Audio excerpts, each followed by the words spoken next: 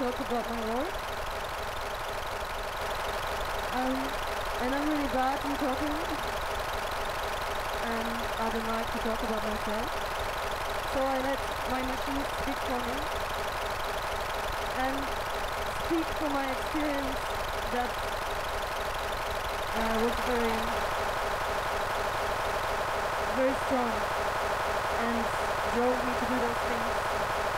And that was experience of violence that we don't usually talk about in our world. An experience of abuse. And I just want the machine to experience and to show it to you uh, to me. Um, I think machines are much more expressive than any other words. So let them speak.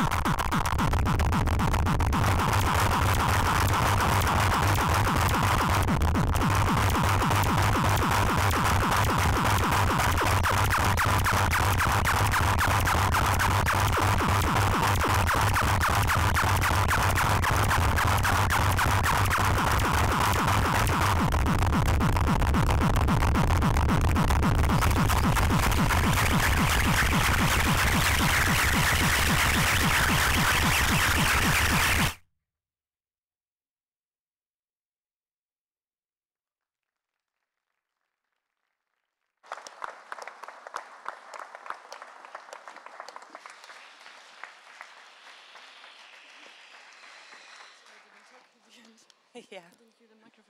No, uh, well, I heard a little bit through the microphone. Did other people hear what uh, Ewa said through the microphone? By the way, I'm uh, uh, Nikki Asman, part of uh, Sonic Acts curatorial team. This is Ewa Justka. And uh, Ewa is uh, originally from uh, Poland, um, based in London since six years. And uh, well, I kind, I think you kind of guessed, she's an electronic noise artist and the instruments builder. So she's coming from the do-it-yourself scene and uh, the hacking spaces in uh, in London. Um, she studied, uh, uh she has a BA, BA, in sound arts from London College of Communication. And uh, she's now pursuing a master in computational arts in, uh, at Goldsmiths. Um, so do you have a mic that is fully functioning?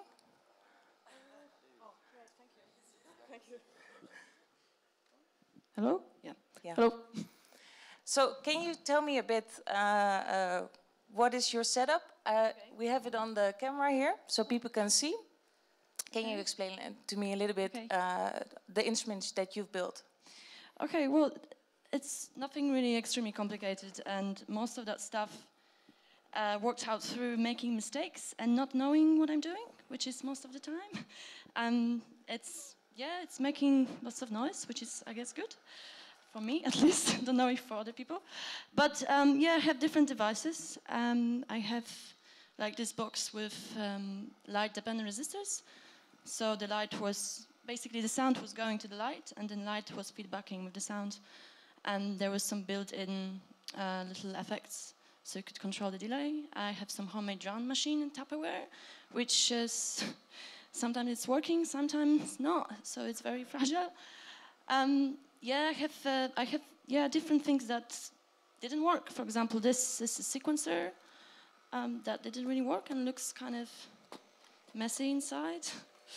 Um, yeah, I think that's I like the process the most. That's my work is really based on process, so it's not really about the final effect, but the way I got to those places. Um, but really, the I learned more, the most from making workshops and talking to people, because I think that's kind of the most important thing, really, to interact with other people. Um, yeah. Because I forgot to tell that uh, also a main part of your profession is that you teach. You teach mm -hmm. electronics at the uh, uh, school. Um, yeah. So how would you say this balance is between and how what is uh, how is the teaching of importance for your work? Um, just, this is distracting me. Sorry. uh, uh, just a second. Off. Okay, great. Yeah.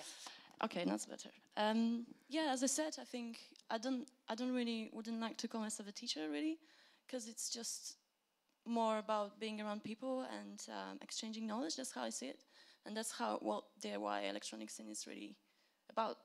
It's not about hierarchy or yeah, I know more, you know less. It's just like people getting together and building lots of crazy stuff. How did you start in this do-it-yourself uh, scene, and and how did you did it start Yeah. in London? Yeah, it started in London. Um, as I said at the beginning, I went through some not good time in my life, and I had to decide if I'm gonna lay down in bed and do nothing, or actually do something about it. So I just locked myself in and uh, decided I'm gonna build stuff and express myself through it. So Because you were you were studying sound art, but this Yeah. you explained to me before that this was not where you Yeah, were yeah, doing this. Uh, well, the, the uh, course I did, uh, we did, we had electronics there. We had some courses, uh, module, but it wasn't. Yeah, it wasn't so great. Yeah. So you were reading lots books? of, lots of yeah, lots of lots of research really. and you were talking about some things are not working. This this Yeah. uh, this principle of error. It's it's also yeah, important that's for that's you. huh? that's kind of the main thing really. It's it's all all those noises you could hear. Uh, most of them are not really wanted. So um, I would like to have some structure behind it, but there's lots of stuff that I can't control, which is a kind of I think it's the most important thing. Yeah. This feeling of not being able to control. Yeah. Yeah. Kind of half half. Yeah. And um, why did you decide to go into uh, computational arts? Because this is Um, all very analog. Yeah. Uh, not sure if that was such a great idea. I'm not a very good coder.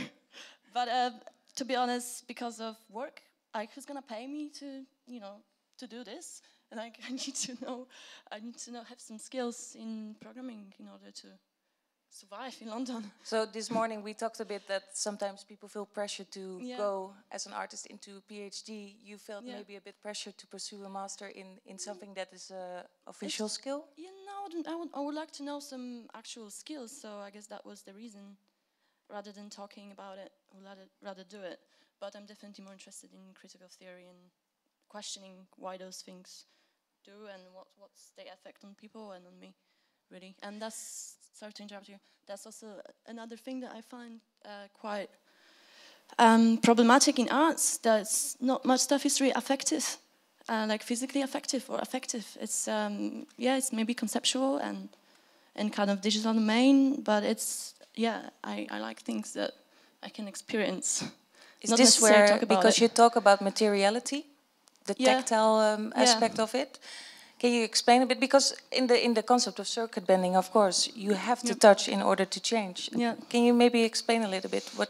Yeah, I mean, uh, as I as I said before, so it's about process of doing those things, um, which is very very physical because uh, it's just a table full of electronics and you have to figure out where things go. But also performance for me is very important because it's uh, kind of very personal uh, for me, and physical. Yeah. So yeah. Can you maybe explain a bit? Hey, you have to acquire those skills. Then you uh, start. It's a process-based uh, uh, Yeah. uh, process, and um, where, from where does it go into a performance? eh? The, the the outcome when you have the output. How how does this work for you? Well, what do you mean from? Well, you start with a performance. Yeah, yeah.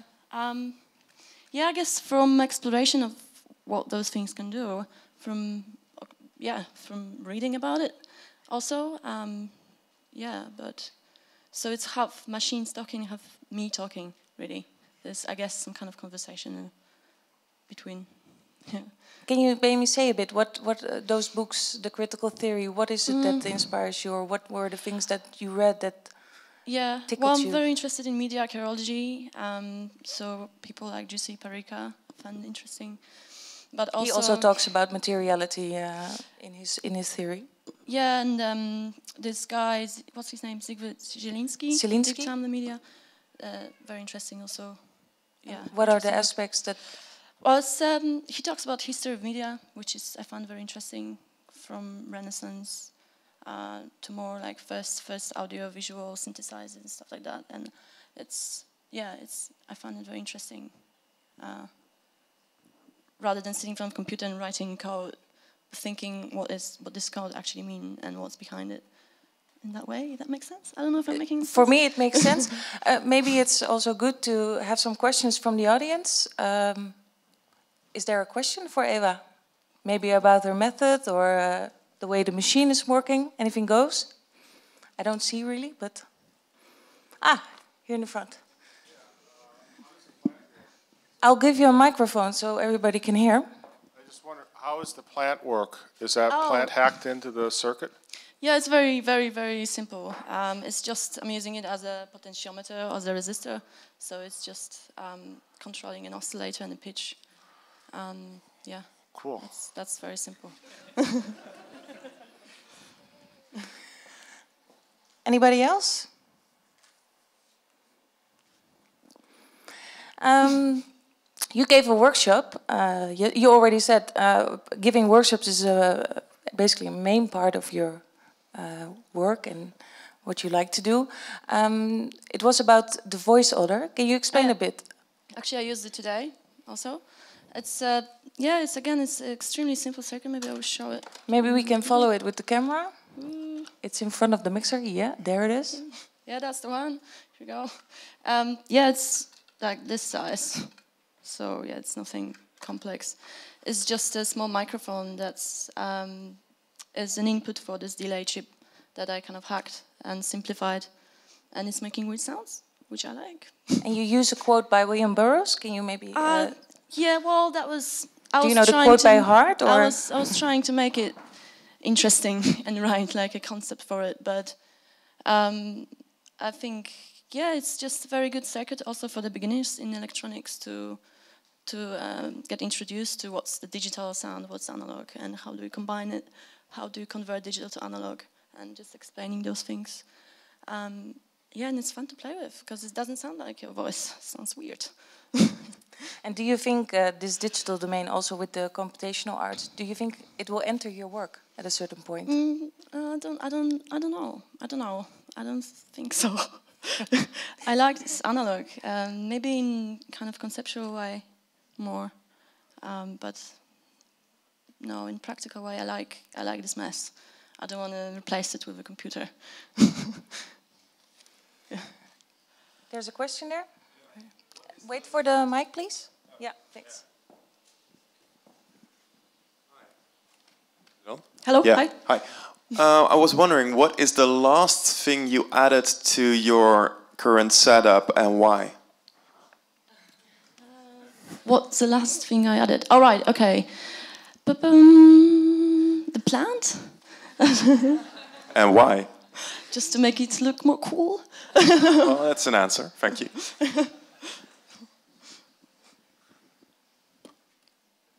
I have one more question. You talk about in your in your bio, you talk about the varied range of m- micro and macro eff- environments. Can you elaborate a bit on this? Um, Well, I think you know the stuff I was doing before with radios. It's also extremely uh, easy and simple circuit, um, and it looks like this. Um, and yeah, so I could send through FM waves signal from the mixer to the radios. So I guess I like the idea of exploring things that are invisible, um, and also this idea of sound to light. Is I guess it goes to the same direction. Um, I'm not very eloquent, I have to admit, right now especially. But yeah, um, I don't know if I explained it, but uh, I mean, electronics or logic gates, uh, chips, this is all small environment that we really don't know about, and it's nice to open it and think about how things work inside them. I guess. and uh, now with these uh, new uh, equipments where everything has this blob of plastic on top of it, it's it's harder for for the circuit benders to hack it. How do you do you, you build your own instrument, but you also use yeah the hacking of chips? How do you how do you see this? With new, do you think you will stick to these old uh, simple circuits, or uh, uh, do you think you will also Yeah. go into these digital? Well, I think um, I think now I'm more about money, so it's good. I guess I would like to be a little bit more professional and do my own designs and PCBs for them, and yeah, and that's the next step, I guess. Maybe modular because it's cool. it's cooler than this. I see one more question behind you, or one of you. Two. Right. Okay, so um, I just want to ask, as a, because you said you really like to perform, so you perform in front of an audience, and as a noise artist, like, do you consider the tolerance level of your audience, or like, how do you feel when you're performing? Because, I mean, there were some great moments, but there were some moments when I was like, I actually can't, you know, listen to this. I have to cover my ears, and I wonder if you Yeah. consider that at all, or like, what? No, I don't really affect you? consider. Don't really consider the audience, to be honest. Uh, I don't know. That's that's just honest, really. Obviously, I want to communicate something. It's not that I'm playing for myself, but uh, yeah, it's it's I'm making noise music and it's intense and yeah. If you, I guess I could do easy listening and sing and make more ambient music, but that wouldn't be me. So it's just I'm just being honest, basically, through doing this. I guess. There was another question. Wondering, um, uh, in your show now, the lighting uh, played a big role. Um, how do you take into account light and lighting? Do you think beforehand? Um, it, is, is it as important as the music, or is it something that comes extra? Yeah, uh, yeah. Of course, this is uh, even in sound. the Light influences the sound, and sound influences the light, so it creates some kind of feedback. But it's uh, it's the whole package of intensity, I guess. Um, I think it's it's kind of can be sometimes overwhelming, and I quite like it. Is that something you, you work at beforehand as well? Where you make machines? You yeah, also- I use I use lights in my machines too, so they have light bulbs and stuff like that. I think it's quite playful to have those two. I don't know. You're also working with video feedback. I saw some uh, images of you playing with. Uh, is this something you want to integrate in the performance? Or Uh, that's that's a new thing I did a few days ago for uni. Yeah, um, yeah. It's, again, it's nothing uh, extremely original. I uh, I used the schematic from those guys called Cracked Ray Tube, and they uh, they hacked cathode ray tube TVs, so it's easy accessible. Everyone can build it, and it's I find it interesting because it's cathode ray tube also, um, and I like ray tubes. How do you see this? Because uh, you mentioned these are old techniques eh, in, from the 60s, uh, the feedback principle, and also the bending, the circuit bending. How do you see it? That there's this whole revival of this this uh, scene and the uh, uh, this do-it-yourself attitude, and uh, but also basically making again those uh, circuits and reusing them. Yeah, you do your own thing in this, but how do you see this? This sort of recycling of um, uh, techniques. and, Yeah. um, Well, obviously there are reasons why we do it. It's not only you know to make noise and whatever, but you Can know you, it's can you just name the- a few of those reasons? Yeah, yeah, I'm, I'm trying to do that. So, um, yeah, I guess it's a conscious decision not to buy equipment that's designed by someone else, and you know you can't you can't get those things from anywhere really. So um, it's kind of yeah idiosyncratic, I would say. So um, yeah, kind of I guess independence, not relying on other people's machines and yeah, I'm not buying. I'm gonna make it myself. Is there? Uh, I see one more question there. I'm really dehydrated. I'm perhaps uh, asking as a grandmother, but is there any way to defend your ears? You can uh, leave. Oh, me for me, right? Um, um, yeah, good question. Probably not. Probably gonna be deaf very soon. Well, what can I do? Surprise. Are there more questions? well, there will be more of Ewa tonight. More damage to the ears. Uh, tonight uh, in Paradiso, in the small hall. So uh, uh, I I want to thank Ewa. Thank, you you very so much for inviting And, me. uh, Thank you.